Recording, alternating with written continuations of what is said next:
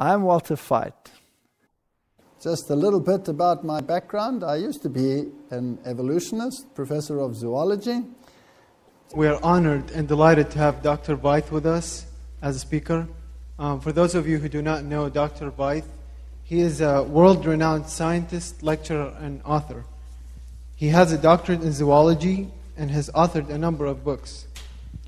Dr. Veith has lectured to standing room only crowds around the world um, on findings in science, nutrition, and disease. Of all mammals, human milk has the lowest protein content and the lowest ratio of casein to whey. Now, casein is the protein that you find in milk. And there is a huge production of milk, so if you make uh, evaporated products, then sometimes there is a huge excess of casein in the world. And you can find casein in just about anything, any product, from cookies to baking to power drinks to you name it, you will find casein.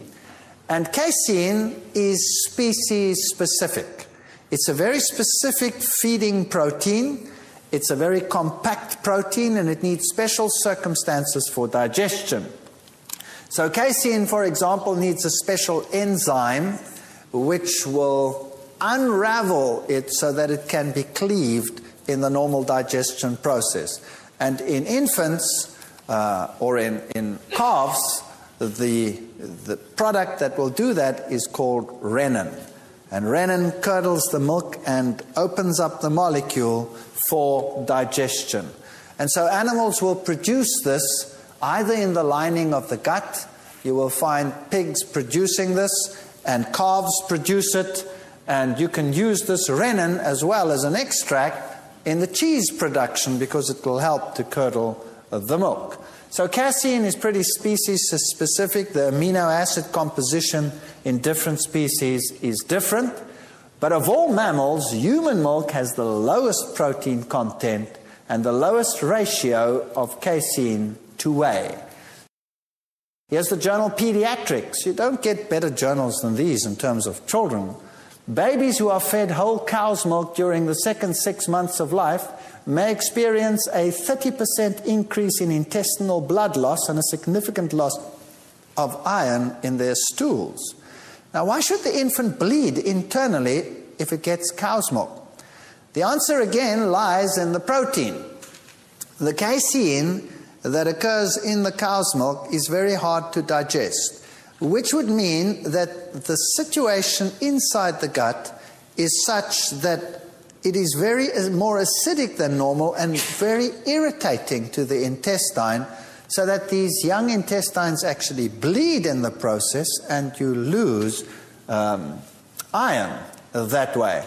And adults have the same problem.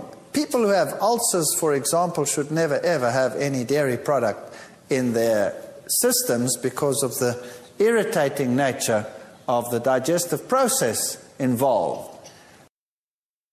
So, the first problem about dairy products is the type of protein. The protein, casein, is very hard to digest. You need very special enzymes in order to do it. And mother's milk has human casein, and the baby would find that hard to digest. But the mother has nodes in the breast where bacteria are raised, which are called Bacillus bifidus, and this bacterium is injected together with the milk and helps to digest the casein. And then the infants also have small amounts of renin.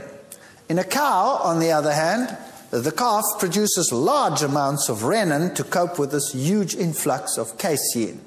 So that's the way we deal with casein. Once a, a, a mammal in general is weaned, then it stops producing renin and it cannot digest casein adequately anymore.